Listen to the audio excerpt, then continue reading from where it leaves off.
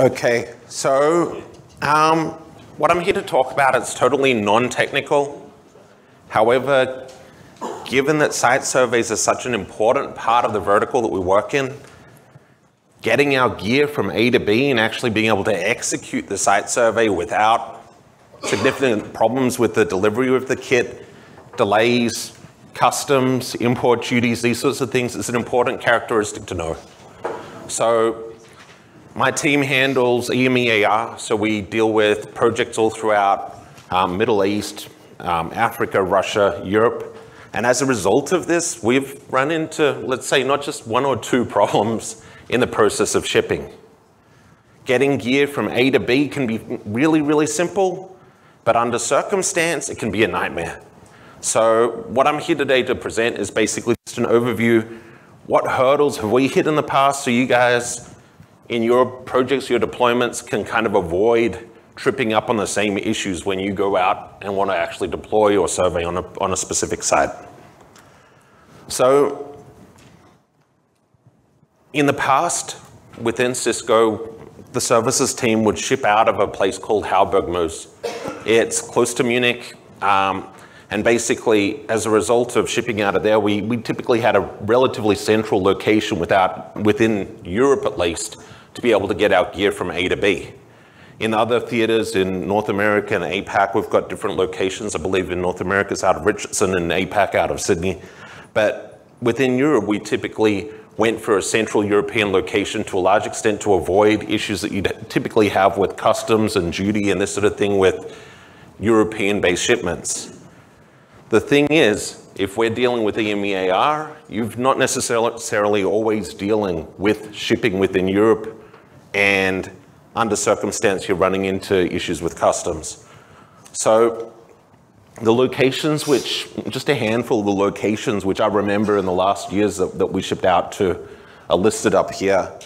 The challenging ones are typically the ones in Africa and Middle East. They're the ones which we're running into the largest amount of issues, and they're the ones to really take extra special care when you're shipping out to.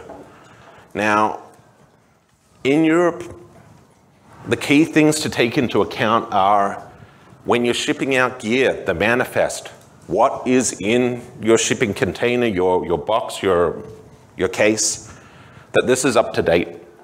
It's always possible that somebody intercepts or stops your shipment and thinks, okay, the battery which is in there may not be compliant or anything else. And if you don't have the paperwork, getting that system or getting that, that shipment out of wherever it's stuck becomes all the more challenging. They try and call you at odd hours, you don't get in touch with them, and instead of your shipment getting there on the Thursday that it was supposed to, it ends up getting there three weeks, four weeks later. Batteries. Now, there are batteries, and many manufacturers say, say that their batteries are shipping safe.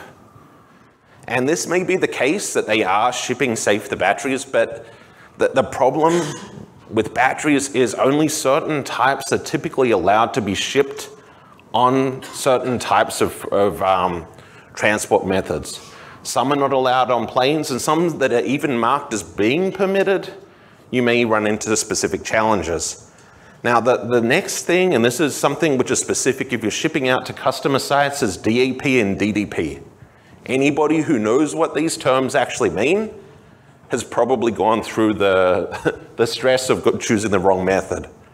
Now, with batteries, quite often if you're sending them by air, you're going to have questions for specific documentation. This is an example of a certification for a certain model of batteries. It's an IATA certification.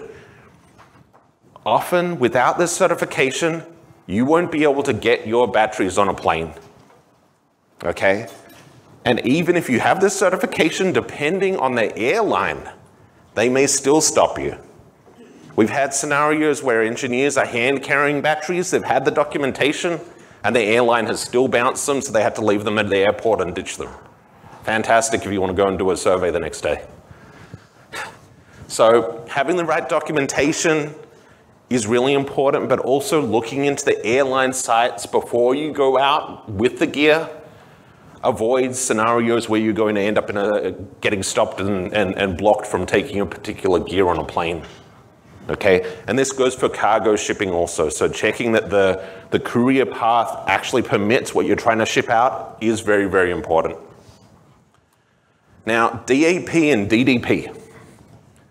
If you've ever been delivered a package from overseas and then all of a sudden they're asking for you to pay extra cash for the thing that you purchased, that's because you've got a DAP shipment.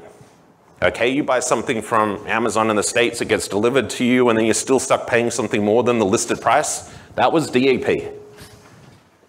DDP basically means the shipper is the person who is responsible for owning the cost.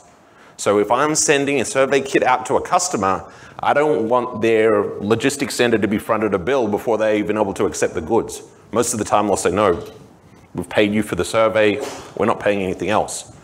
So this is something to keep in mind. So when you are shipping, choose the right method. Otherwise, you potentially run into situations where the, the delivery entity that's picking up the, the goods bounces the delivery altogether. What we also noticed was routing. We'd have surveys happening all over Europe, all over um, EMEAR, and we'd often run into the scenario that we'd ship out from Munich, Hallbergmoos, and then to, to the UK, for instance, and then the next survey that needs to be done is in Scotland. So from London to Scotland would be the most logical route. But if we're always returning the goods to the same point of, of the um, initial delivery, we're losing time on the gear being shipped. And basically we need to have more survey kits out there in the field. So choosing an optimal route for the gear to be delivered. So instead of going uh, from point to point, point to multi-point is typically the best routing method that you can choose to ensure that your gear is optimized and, and gets to the places that it needs to go without unnecessary um, delivery. So standardization.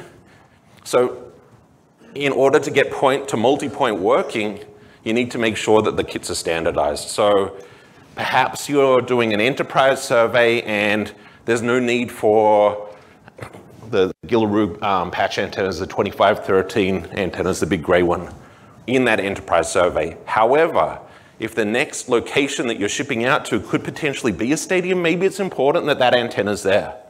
So our, our method was always ensuring that the kits are standardized to uh, accommodate whatever scenario may come up next. And then you're never going to run into a situation that the, the gear's not in this kit, but it's in another one and everything else. So from this list, uh, this is all standard stuff, you know, tripod, et cetera, et cetera. One thing which is very important and it saves the day duct tape, make sure it's in your kits. It helps out in strange scenarios that you wouldn't expect. You know, you can pull off MacGyver moves in using duct tape under circumstance. Um, so customs clearance, this is something which is also significant.